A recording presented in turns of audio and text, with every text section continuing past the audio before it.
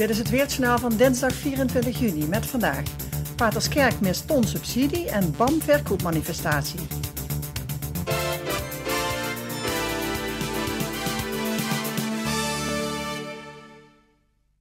Dag dames en heren, een heel goede avond.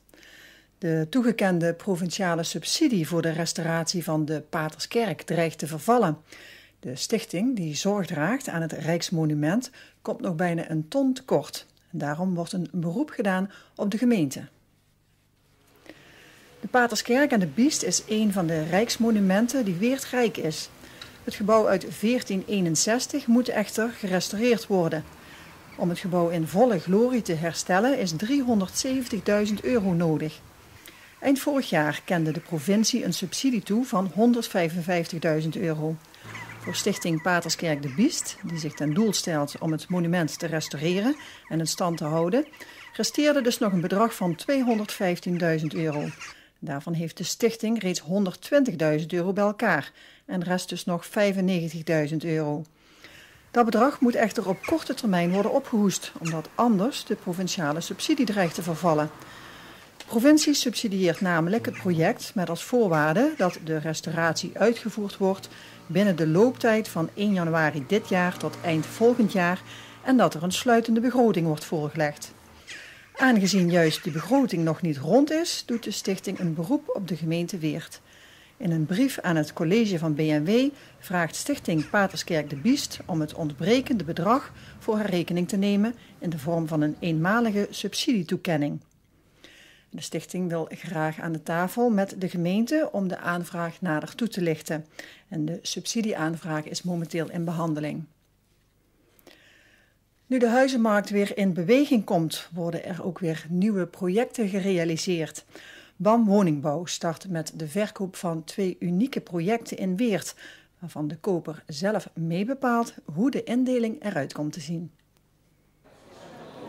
Middels een verkoopmanifestatie worden geïnteresseerden geïnformeerd over het project en de mogelijkheden. In de nieuwe projecten hebben de toekomstige bewoners zelf de keuze over de indeling en de stijl van de afwerking. En dat maakt de woningen uniek. Het idee en de uitvoering komen van interieurdesigner Victor Meeuwissen. Op de bijeenkomst was hij ook aanwezig en sprak met alle aanwezigen. Ze konden terecht met hun vragen, maar ook met hun angsten. Woonadviseur Nanneke Smeets van de BAM nam ruimschoots de tijd om de potentiële kopers te woord te staan en op hun vragen antwoord te geven. De projecten komen aan de Sutjestraat en in de wijk Vrouwenhof, waar op beide locaties 18 woningen komen. Straks allemaal met hun eigen indeling en eigen sfeer. Aanstaande donderdag vindt er een volgende verkoopmanifestatie plaats. Deze is in zaal Jonas op Leuken, waar geïnteresseerden vanaf 5 uur welkom zijn. Op de sites ditismijnhuis.nl en woneninvrouwenhof.nl kunt u alles lezen over de beide projecten. De planning is dat eind dit jaar de bouw van start gaat.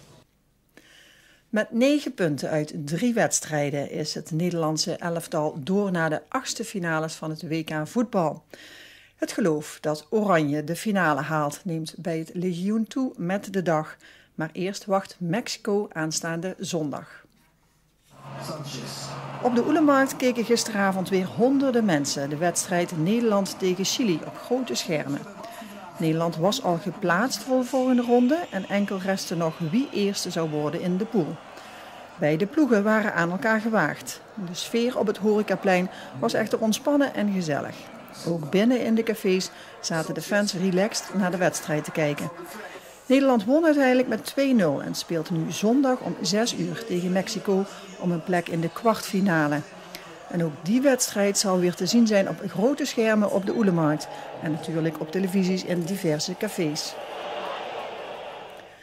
Bedrijven die in deze tijd tien jaar of langer bestaan, vieren dat meer dan ooit tevoren.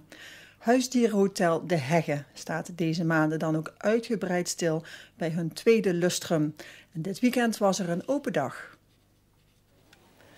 Aan de Koenderstraat in het buitengebied van Hushoven ligt het ruim opgezette bedrijf al tien jaar. Zondag konden geïnteresseerden een kijkje nemen bij het bedrijf dat huisdieren verzorgt als de baasjes op vakantie gaan of wanneer dit om welke reden dan ook niet lukt. Voor de honden zijn er verwarmde kennels waar elke hond zijn eigen plekje krijgt. Meerdere honden uit één gezin kunnen ook samen verblijven. In de ruime speelweides buiten worden de dieren meerdere malen per dag uitgelaten. Bezoekers van de open dag konden ook de flexibele dagopvang bekijken, waar honden tussen 6 uur s morgens en 9 uur s avonds kunnen verblijven. Het bedrijf bevat ook kattenkamers waar deze huisdieren kunnen verblijven. Elk dier met zijn eigen aandacht en specifieke verzorging. Tijdens de open dag waren er rond het huisdierenhotel diverse stands en activiteiten, waaronder een parcours met hondenspelletjes en natuurlijk was er aan de kinderen gedacht die konden knuffelen en aaien met de dieren. Twaalf leerlingen van de gildeopleiding strijden momenteel om de titel in het project Go Battle.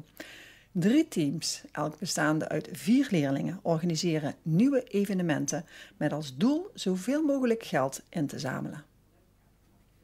Een van de teams organiseerde dit weekend een muziek- en cultuurevenement in het Franciscushuis aan de Biest. Onder de titel Hart voor Hospice traden in de middag en avond artiesten op op het podium in de voormalige kerk.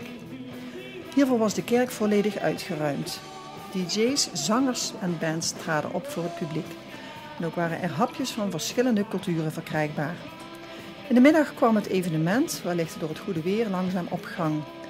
Go Battle is al jaren een succesvol en bijzonder stageproject van gildeopleidingen voor het goede doel, waarin het verbinden en samenwerken voorop staat.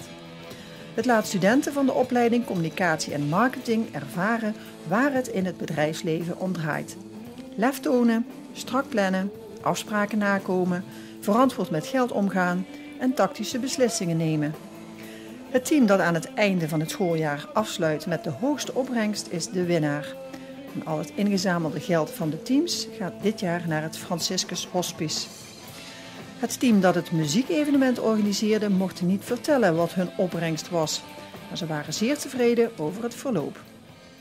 Op 1 juli dan is de finale van het evenement en dan bepaalt een deskundige jury welke leerlingen de battle gewonnen hebben.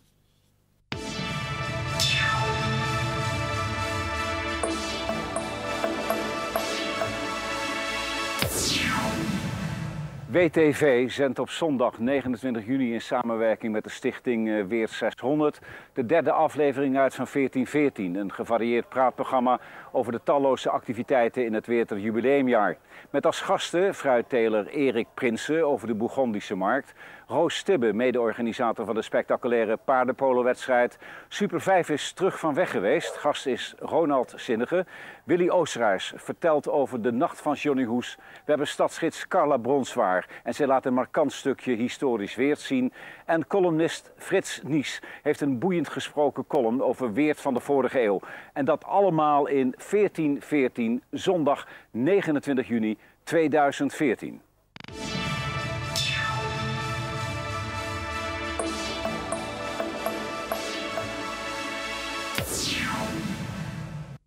En het is dinsdag en dat betekent dat we weer tien jaar teruggaan in de tijd in Weet het vlucht.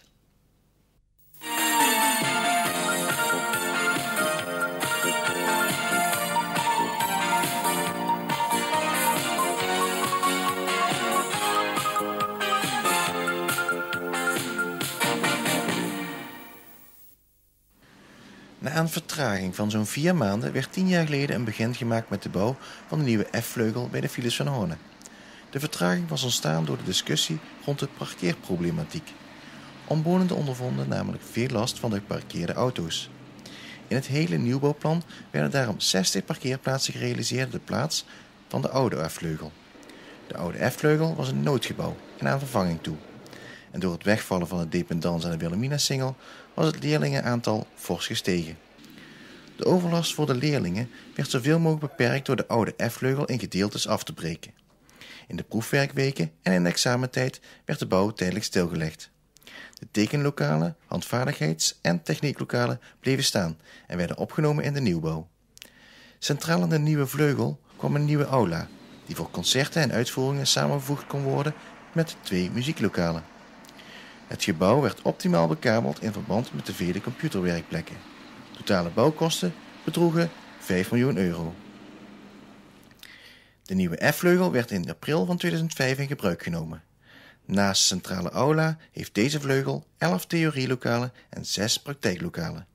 In november van dat jaar vond ook de officiële opening plaats.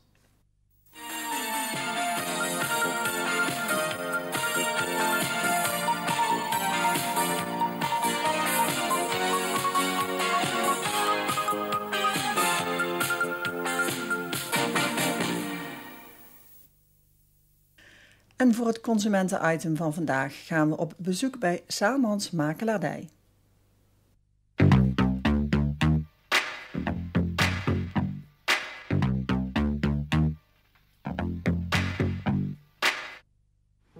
Vandaag willen we even terugkomen op de uitzending van de vorige keer, waar we enkele activiteiten hebben aangekondigd die nu in het voorjaar gaande zijn. Die concentreren zich alle, of alle, in ieder geval een aantal deze week.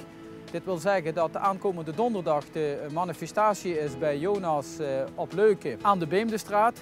Waar de woningen aan de Vrouwenhof, aan de toegang van Vrouwenhof worden gepresenteerd. Prachtige ruime woningen van de BAM in de jaren 30 stijl met het speciale Victor en Wonen concept.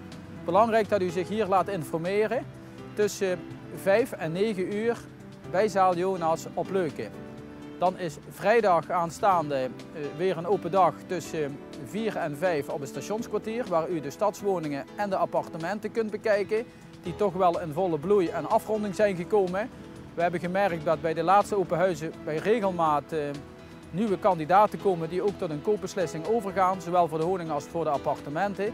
En dat er toch wel interessante mogelijkheden zijn voor kandidaten. Dus ook hier nodigen we de mensen graag vooruit. En zaterdag en zondag de open dag eh, van het nieuwe stadhuis hier aan de Wilhelmina-singel. Zullen wij aanwezig zijn eh, samen met Wonen Limburg eh, voor de huurappartementen La Cour Bleu. Maar ook voor de prachtige koopappartementen die in dit complex gerealiseerd zullen worden.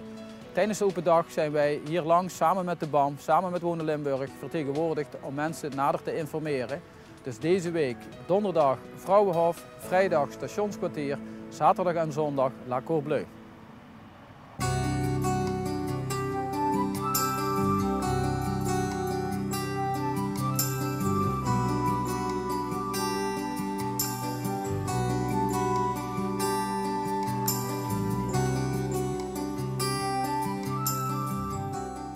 Vandaag ben ik met u naar Tungelrooy gegaan.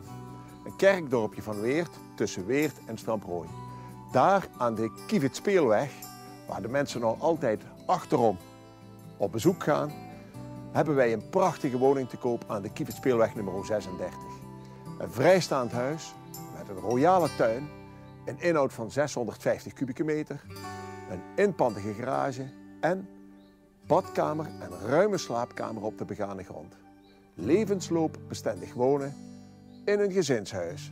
Een prachtige locatie. En ik wil het huis graag aan u van binnen laten zien.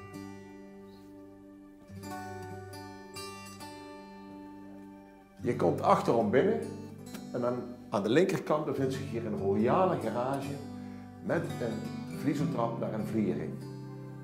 Deze ruimte wordt gebruikt als tochtsluis tussen keuken en garage.